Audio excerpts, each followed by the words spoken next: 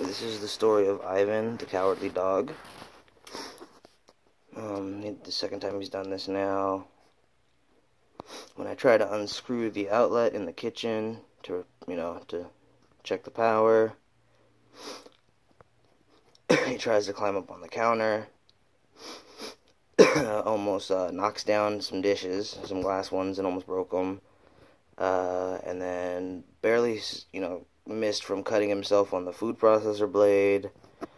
And now he's hiding, terrified out of his mind because of, you know, power outage. I don't know. He's just poor little baby. Why did he? But why is he such a baby? Who knows? It's okay, buddy.